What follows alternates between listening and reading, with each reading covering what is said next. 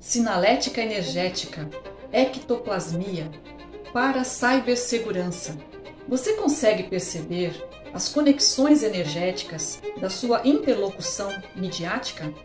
Eu, Sandra Tornieri, autora desse livro, Mapeamento da Sinalética Energética e Parapsíquica, junto com a Nelly Vieira, que é jornalista e assessora de comunicação, e a Lúcia Novaes, que é diretora de TV e transmídia, estaremos no dia 13 de março apresentando o curso Posicionamento Midiático Interdimensional. Guardamos vocês!